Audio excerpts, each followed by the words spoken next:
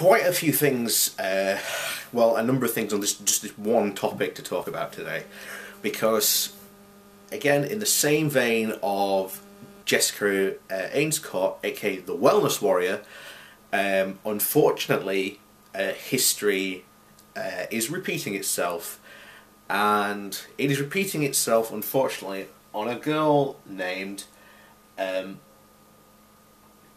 Clarissa Gleeson, who is a 22 year old woman, and she's from Western Australia, and she has the same type of cancer that Jessica Ainscott has, or had, or a similar type. And what's going to happen is pretty much this. She's doing the Gerson therapy and she's been encouraged to do it by, surprise, surprise, the what seems to be the um, the vegetable general of Australia, Ty Bollinger, um, promoting this, and she's decided now she's now doing the Gerson therapy because apparently you know the Gerson therapy will save her. It won't. It really, really will not. And again, I can already see history repeating itself because she's got, she's had the initial media attention like Jessica Ainscott did. She'll then go on to create a web page or something like that. I won't be surprised to find out if she's already got one. I'll probably end up doing looking and having a look. She's already running a GoFundMe where she's trying to raise at the moment, um, yeah, sixty thousand dollars, and she's already raised thirteen thousand already. That's a lot of money to sink in to quack treatment. And again, this is again the our constant argument is, oh, this costs no money. Then why the hell, if if this treatment costs no money, is she trying to raise sixty thousand dollars for this treatment, this the, you know Gerson therapy? If this costs no money, why has she got this GoFundMe page specifically to raise money to help her with the Gerson therapy? I'm sorry, this argument that oh it's cheaper than you know chemotherapy, I'm sorry, doesn't fly. Or the fact that it's free or natural, whatever, I'm sorry, but it doesn't fly. And she's going to follow the exact same path as Jessica Ainscott. She's going to be considered that, oh, she's cured or her cancer is going away because, again, this cancer, the cancer that she has is a slow killer. It takes time, it builds up, and then it will, she will die in absolute pain, just as Jessica Ainscott did. And this is not, you know, people say, well, that's mean to say, but I'm sorry, it's the truth. And I'm, I'd rather she'd be hearing the truth from me than these idiots like Ty Bollinger, who is encouraging her to die. And she's going to be thrown under the bus, just like Jessica Ainscott was. Because, again, when Jessica Ainscott died, the Gerson Therapy released a this wonderful blog saying that oh the reason the Gerson therapy didn't work was because she'd already had chemotherapy and that you know it wasn't working. Therapy just wasn't working and they, wished that she'd had gone uh, with the Gerson therapy to begin with. Well guess what? Um, our new cow cowgirl here has completely ditched chemotherapy, from my understanding. She's not even going anywhere near conventional medical treatment, and she is going to die.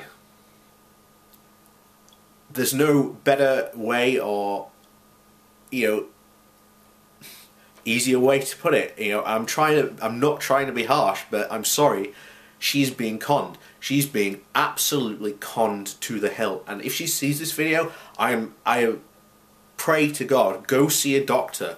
Do not trust people like Ty Bollinger who egged on Jessica Ainscott. And I urge you, look into Jessica. Look what happened to her. Look what she did. Look at the post that the Gerson therapy did where they threw her under, under the bus because you know, the it wasn't the therapy's fault. It was her fault in the first place for going for chemotherapy. So don't be tricked because I'm sorry, the Gerson therapy has zero evidence that it works. Zero. And to the media that is trying to, you know, that praised her, shame on you. I mean, the which is the paper that pu published this? Yeah. This is in the Sunshine Daily Coast, and it was on the 14th of April with the headline of uh, Cowgirl chooses alternative alternative therapies to treat cancer. Uh, Clarissa Gleeson, a 22 year old woman from Western Australia who was diagnosed with uh, sarcoma. Yes, yeah. Synovial sarcoma? I can't, I've nah, never encountered that word before. Meh. in 2015, she spent much of her time working on cattle stations and has a love of the land. Now she is channeling that passion into beating her cancer. And absolutely a pox, a pox and a curse on this newspaper. I am sorry, but the Sunshine Daily Coast for running this story is absolutely awful. The real story they should have been running is girl conned into, you know, spending thousands of dollars and then dying. If when she dies and like the Sunshine Daily Coast will run a story about oh she was an inspiration and whatever please go to their Facebook page and comment on these stories about you know well hang on she was doing an unproven medical treatment not even a medical treatment uh, you know you know she was she was doing quackery and you praised her for doing this how dare you do this how dare you make people think that this phony, bogus treatment works? How dare you do this?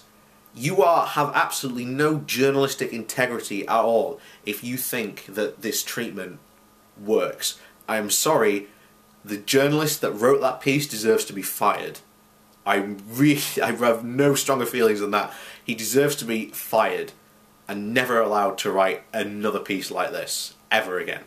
I'm sorry, but he really shouldn't. It is, it is a danger to public health, literally, what that what they've written. So yeah.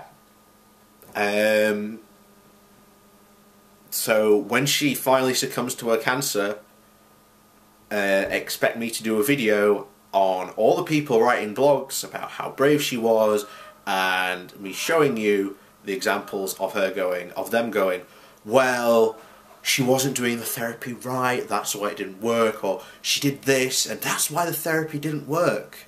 Because that's what's going to happen. You know, let me, you know, let me address you, let's address you now, uh, Clarissa. Yeah.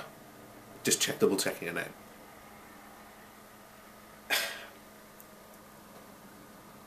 If you die, you will have people throwing you under the bus left, right, and centre. The people you think are trying to help you now will throw you under the bus just like Jessica Ainscott. You are being set up as a poster child, and when you die, they'll throw you under the bus. Because your you know success because again with this cancer it will look like that your treatments are initially working but they're not.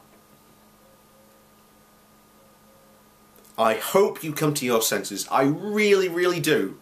Because you need to go go see your you know a real doctor immediately or else, you know, you're going to die. And there's no nicer way to put it. And to Ty Bollinger, you are an absolute twat. I would love nothing more to, to punch you in the face. And if I ever find out you're coming to the UK or you're running an event in the UK, I'm going to be there and I am going to absolutely throw all these uncomfortable questions at you and more. Because you deserve it. You so deserve it.